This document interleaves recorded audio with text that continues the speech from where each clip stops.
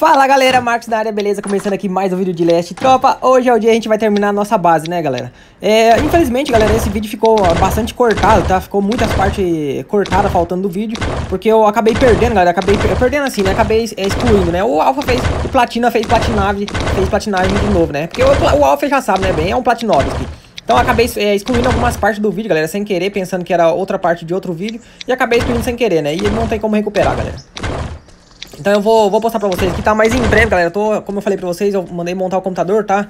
Já tô com o computador em casa, vou fazer a live é, em breve, tá? Então a gente vai fazer live aí só de modelo de base. A gente vai fazer base junto, vamos jogar... É, vou anunciar o servidor que eu tiver e aí a gente vai é, jogar com os inscritos, beleza?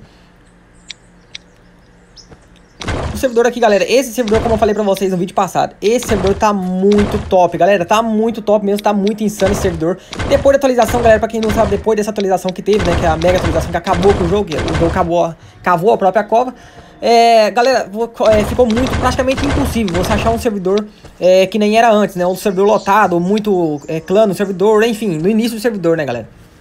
É, então, e esse servidor, galera, por incrível que pareça, ele tá lotado, galera. O servidor tá muito insano, é um servidor padrão. E o servidor tá muito top, galera. Tem muito clã no servidor. Tem até é, clã que tá em em aliança e tudo, mas enfim, tem outros clãs também que tá jogando no servidor, tem outras pessoas jogando em squad, outros em duo, outros é, solo também. Galera, o servidor tá muito insano mesmo, tá? É realmente um servidor muito bom, galera. Há muito tempo que eu tava precisando de um servidor desse, já dei Counter High também, né? Pra quem não sabe também, que acompanha o canal. Há muito tempo também que o Alpha não posta vídeo de Counter High, né, galera? Então esse servidor aqui, o Alpha já vai postar aquele vídeo de Counter High insano, né? Porque já sabe, tentou raidar o Alpha bem, vai perder as mãos porque a base do Alpha é anti-raid bem. E a base do Alpha não é anti-raid, todo mundo raid, então é só vir raidar bem. É só me provar o contrário e vir raidar a base do Alpha, porque o Alpha não toma raid bem. E se, ah, bom, não, não toma raid online, né, bem? E se tomar raid off, nunca vai achar o loot, vai tomar prejuízo, vai se arrepender. Porque o loot do Alpha fica todo escondido dentro da base, bem, é isso mesmo. Ou raid online, ou raid off e toma prejuízo. Na verdade, ou raid online toma prejuízo, e passa vergonha, ou raid off e passa vergonha do mesmo jeito, né? Porque não vai achar loot do Alpha. Duas horas depois o Alpha volta. O que eu tô fazendo aqui, meu? Duas horas depois o Alpha volta, pro, é, entra no servidor e já tá todo com loot de volta dentro da base, né? Essa base mesmo, galera, tem bastante loot dentro da base ali, tá? Tem, o loot tá totalmente espalhado dentro da base lá ainda, tem muito baú dentro da base.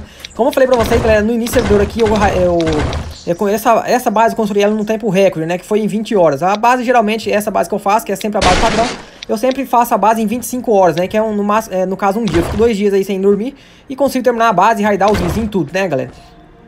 E por incrível que pareça, galera, desse servidor, como eu falei pra vocês, tá, tá muito puxado o servidor, tem muita gente no servidor, tá muito bom. O servidor tá insano, galera, tá realmente muito bom. Essência, tá muito top o servidor, galera. Infelizmente, tá, tá muito top o servidor mesmo, de verdade. Então, galera, como eu falei pra vocês, eu consegui loot muito rápido no, no, é, no início do servidor, né? Construí o Jarvanzinho da base, onde que vai ser, onde que era pra ser a base, né? Que nem você viu de passado. E já avancei a banca, galera, e já aprendi a bomba, olha, e já comecei a raidar os vizinhos, né? E, galera, por incrível que pareça, os vizinhos que o Alpha, que o Alpha raidou tinha muito loot, galera, muita pedra, muito ferro, muito loot mesmo, galera, bomba, C4, galera, muito loot, enfim. É, então eu consegui upar a base com o loot dos outros, né, galera? O loot de raid. Então foi muito rápido pra fazer essa base. Foi um tempo recorde, né? Que a, a base que eu fiz mais rápido é, antes foi a base em 25 horas? Que até tem um vídeo aí no, no canal. Pra quem acompanha o vídeo já deve ter visto. Quem acompanha o canal. É, a base que eu fiz mais rápido até hoje é o mesmo modelo de base, né, galera? Que eu sempre faço modelo de base padrão. Exceto a base pirâmide que eu fiz aquela vez. Né, e a base que eu faço pra, é, fiz pra solo, que é o tutorial só pra vocês é, ver como é que faz, né? Então é, foi em 25 horas que eu fiz. E essa foi um tempo é, recorde aí de 20 horas, né, galera? Então ficou muito top, galera. Agora a gente começou já a raidar. Tem, é, já começamos a raidar já é, os clãs do, que tá no servidor também. Já consegui raidar dois clãs do servidor. Só que um deles não saiu do servidor, né? Um deles continuou no servidor ainda, com, com, juntou o loot novo, já tá vindo na base do Alpha pra, pra, tentar raidar. E já aquele negócio, né, tropa? Já tentou raidar o Alpha, já tomou aquele prejuízo insano, né? 30 C4 já foi perdido, 11 TNT e umas 40 bomba óleo, né, bem? Porque já sabe, o Alpha pega tudo, não adianta querer raidar o Alpha. E ainda tentaram vir online, né, tropa? Os caras têm coragem, realmente, eu tiro um chapéu pra eles porque tentaram vir raidar o Alpha online, né? Mas enfim, galera, tomou aquele prejuízo, aquele, raid, aquele counter-raid insano. Como eu falei pra vocês, galera, o que ajuda muito nessa base por que, que eu faço sempre a base padrão, galera? Independente do servidor, mesmo que seja um servidor... Um servidor Blood eu quase não jogo muito, porque no servidor Blood, galera, é um servidor é, 2x, então você consegue mu é, muito loot muito rápido. Se você pegar o loot, da, é, ainda mais se for em clã, né? Eu que jogo solo contra clã, eu não tenho trabalho nenhum, galera, jogar solo contra clã, tá? Porque eu fico muito tempo acordado, eu sou realmente focado no jogo, tá, galera? Porque eu gosto muito desse jogo. É, então eu fico muito tempo acordado e consigo loot muito rápido, galera. Loot que um clã, às vezes, dependendo do clã, se tiver preguiça, não consegue juntar o loot que eu consigo, né? Então nesse servidor aqui mesmo, em 3 horas de servidor, em 3 horas, em 10 horas de servidor, eu consegui loot que um clã não, consegui, não conseguiria juntar, né, galera? Porque dependendo do clã, que o clã, às vezes, o membro é preguiçoso, não farma, enfim. Então é em questão de horas aí de servidor, eu jogando solo consigo é, loot mais, mais loot do que uma, é, um clã né, inteiro. Então galera, eu não tenho dificuldade nenhuma pra jogar solo contra clã, tá? Porém, galera, se for um servidor, é, no caso um clã focado, que nem eu já peguei alguns clãs que até quitei do servidor, porque eu sei que eu vou perder. Então não, não vou tentar também, porque como eu sei que eu vou perder, eu dou os parabéns pro cara, até entrega a minha base pro cara, é, pro clã, né, que, que joga bem, porque merece, né, galera? Então quando você encontra um, um clã focado, essas coisas, jogar solo contra um clã bem focado, infelizmente não é possível, galera. Solo é muito complicado. É... Então, galera, o que, que eu falo pra vocês? A questão do muro, né? Por que, eu sempre faço o mesmo modelo de base, um modelo padrão? Galera, esse modelo de base, principalmente o muro, galera, que eu falo pra vocês, tamanho de base é a mesma coisa que quantidade de membro em clã. Se você jogar em 3 clãs, você é literalmente um boot, tá? Se você joga em 2 clãs, você é literalmente um boot. Se você joga em 10 clãs, é literalmente boot. Quantidade não é qualidade, galera, é uma coisa que eu sempre faço é, que eu sempre falo pra vocês. Quantidade não é qualidade. Não adianta você jogar em 10, 15 clãs, 30, 40 pessoas, que você vai continuar sendo boot do mesmo jeito. Porque se você joga em 10 pessoas, você precisa das 10 pessoas pra ganhar um servidor. Se você joga em 20, é porque você precisa das 20 pessoas jogar um, pra ganhar um servidor.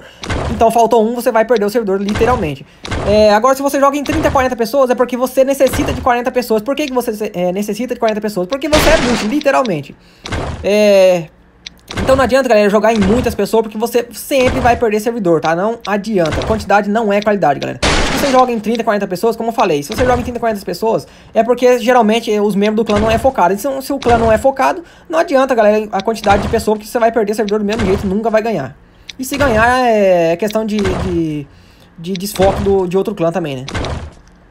Aqui, galera, esses rastreadores, eu vou postar um vídeo pra vocês, vocês podem ver que está todos eles é, entrando em decay, mas agora não tá mais, né? Isso é porque eu peguei numa base boot, né? Pra quem não sabe, agora tem as bases boot que o jogo coloca no servidor, e eu vou mostrar pra vocês também a base que eu encontrei, tinha mais ou menos umas 45 ou 46 é, desses rastreadores, tá? Eu consegui trazer um pouco pro, pra base antes de entrar em decay, não quis levar, tá? Como tava muito longe, eu não quis é, transportar é, loot, galera, pra poder levar pra lá, pra poder não entrar em decay, porque geralmente sempre acha essas bases, tá?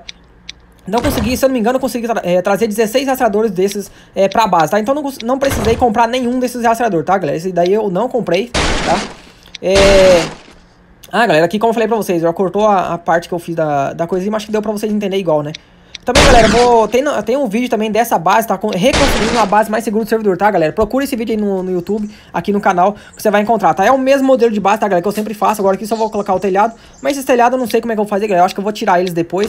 Porque enquanto você não tiver o rastrador, você tem que colocar o rastrador em cima desse telhado aqui, ó. Onde eu tô colocando agora, tá? Porque senão o cara voa, quem sabe com o planador, e o cara consegue é, ficar pegando cover da sua própria base, né? O cara sobe ali em cima do, do telhado e, e te atira e depois volta, pega cover no telhado de novo, né? Então a base fica... O cara usa a sua própria base como cover.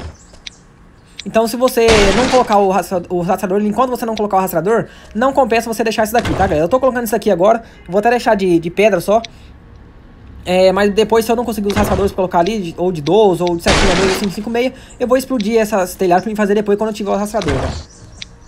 Tô colocando isso agora, galera, porque até que eu junto, é, consigo upar a base, aí eu... Aqui, ó, como eu falei pra vocês, ó. Agora fazer o muro, galera. O muro também, como eu falo pra vocês, o muro padrão, tá? Por que eu faço o muro padrão, galera? Porque o muro, pra mim, é o que mais ajuda, tá? Ah, e como eu tava falando também em questão de tamanho de base. Galera, tamanho de base não é não é, não é o que segura raid, galera. Não adianta você colocar uma base 50 paredes, porque quem vir pra te raidar, se a pessoa vai pra te raidar, galera, com a sua base que tem 50 paredes pra chegar no loot, se a pessoa chega numa base dessa pra raidar, é porque ela tem as bombas pra raidar 50 paredes. Se, você faz uma base com duas paredes pra chegar no loot, é porque a pessoa, quando a pessoa chegar na sua base, é porque ela tem o loot pra chegar no, no é, pra raidar a sua base. Então, independente do tamanho da sua base, galera, quando a pessoa chegar pra te raidar, pode ter certeza, ela vai ter o loot, porque ela vai ir na sua base, vai olhar primeiro como que ela é, quantas bombas vai gastar. Então, quando a pessoa chegar pra te raidar, pode ter certeza que a pessoa vai ter as bombas pra te raidar, tá? Então, é, tamanho de base também não é qualidade, tá?